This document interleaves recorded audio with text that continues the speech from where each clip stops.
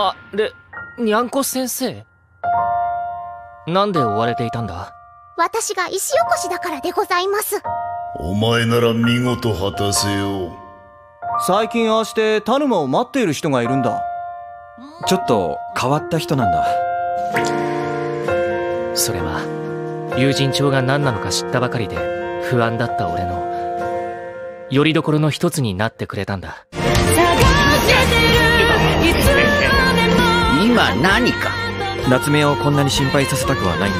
気になっていることがあるなら言ってくれればいいんだ。果たせぬ役目を与えられるなら辛いかもしれませんがお前ならできると信じて。それには答えねば。ああそうだな。一緒にいるから分かることがあるんだ